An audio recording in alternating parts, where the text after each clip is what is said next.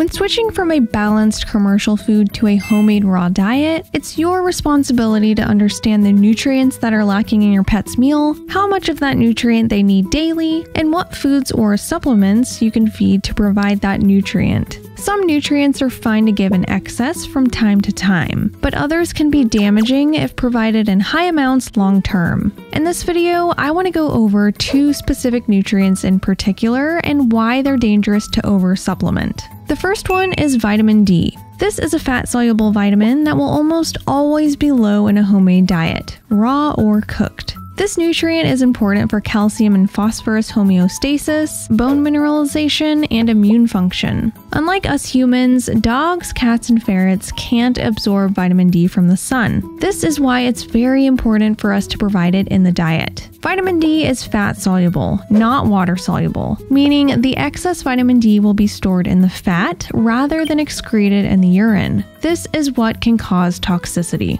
Toxicity can cause high calcium levels in the blood, excessive drinking, and anorexia. So, what are the safest ways to provide vitamin D? Carnivores absorb and metabolize vitamin D3, which is derived from animal sources, more efficiently than D2, which is derived from plant sources. Oily fish like Atlantic mackerel, Atlantic herring, and sockeye salmon are specifically high in vitamin D and can usually provide their recommended daily allowance. Beef liver and pasture raised chicken eggs also contain vitamin D, but in lower amounts and don't often meet the daily requirement. Cod liver oil is also high in vitamin D and can easily meet the recommended daily allowance as well. Because it's also high in vitamin A, this should be provided in a diet that excludes liver. Feeding cod liver oil or pure vitamin D3 is often when over supplementation can occur, so be sure to understand your pet's daily allowance. I will link a few of my videos at the end of this one that helps you understand how to figure this out.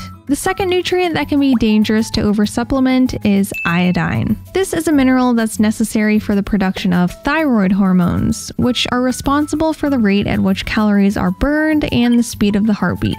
Your pet's body cannot make iodine on its own, so it needs to be included in the diet. Too little iodine in the diet can cause hypothyroidism, and too much can cause hyperthyroidism. This can show itself in the form of a rough coat, weight loss, enlarged thyroid glands, heavy breathing, and a rapid heart rate. So, what are the safest ways to provide iodine? Ultimately, feeding whole prey animals will provide a safe amount of iodine from their thyroid glands, but this isn't always an option for many. When it comes to a whole food source, iodine is mostly concentrated in sea kelp, but this may contain heavy metals and some toxins, so be sure to source from a reputable brand that not only guarantees its purity, but also provides the amount of iodine per scoop.